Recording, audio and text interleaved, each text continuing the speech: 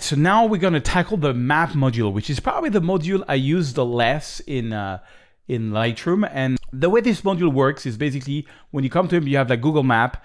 And so I on purpose took a few iPhone photo. This is by the way an iPhone 10 Max photo. And if I click on this, I can see where the photo was taken.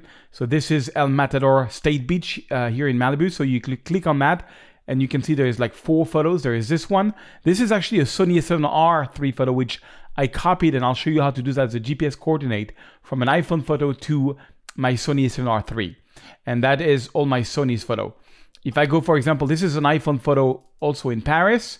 So this is the Opera in Paris. You can click here and you can see the photo where it was taken. This is Rue de Rivoli, another, uh, another part of Paris. Oh yeah, but this one, uh, well, this one should have some coordinates. Yes, it should have.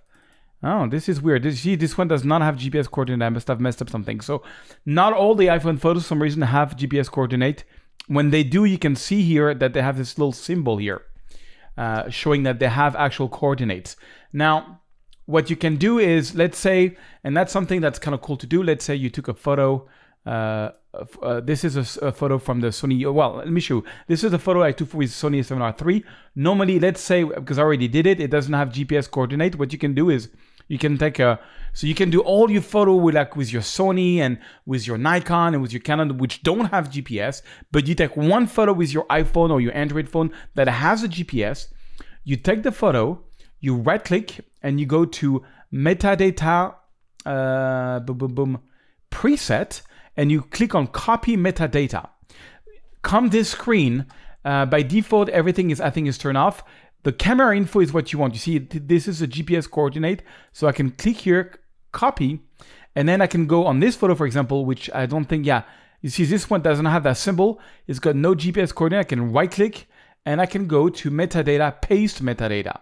And now look at this, boom, I can click on it. And now we can see there is five photo, two Sony a7R III and three iPhone photos that have a, a GPS coordinate. So that's one thing you can do. Uh, you can create locations. Um, you can also search, like you can, you can, for example, for this photo, I don't have any GPS, but I want to add a GPS coordinate. So I can say, for example, I can go here and I can type, uh, this is Rue de Rivoli in Paris. Okay.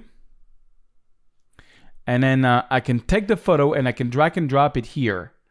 Uh, and now this one has got a GPS coordinate. That's another way to do it. If you know where the photo was taken, like this is, this is, for example, this is taken from the, uh, this is the Eiffel Tower. So I took it from the Pont Bir Hakeim, uh, which I believe is here. Yeah, I took it exactly from here. So I can click and drag the photo there. Okay, I could like save a location, uh, which is like the Eiffel Tower photo, or let's go, uh, Paris is about, um, I think 10 miles long. So let's go 10 miles. And now I have all uh, my photos of Paris here. So you can see the locations is here. I have got three photos.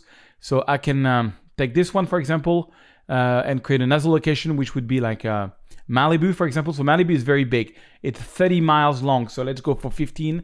So we have got all of Malibu. And now in that location, I've got uh, Malibu, I've got five photos and Paris, three photos. So now, there's one thing I, I, want to tell you is that if you manage, if you have the discipline, which I definitely don't, I wish you know the the cameras will have every cameras will have a GPS included just for the sake of having the GPS data in it. Uh, there is two things that I find useful with GPS data. The first one is, let's say you're like driving around and you see this beautiful uh, view of Paris or whatever, and uh, let me go to the develop module so you can see you see this beautiful view or like you like that angle you can take an iphone photo from it and it will have gps coordinate and you can using your iphone or or the map module here you can come back to it and see exactly where it is. So it's kind of a great way to you know like bookmark geo uh, actual places around the globe.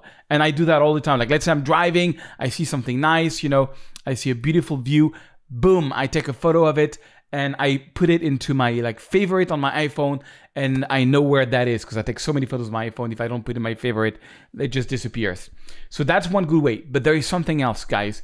If you actually take the time to put in the GPS coordinate, which I don't, I'll be honest, I don't, it's gonna give you a better um, indexing on Google once you upload this photo to your like Squarespace, Wix, or uh, um, SlickPic website which I think SlickPic is the best.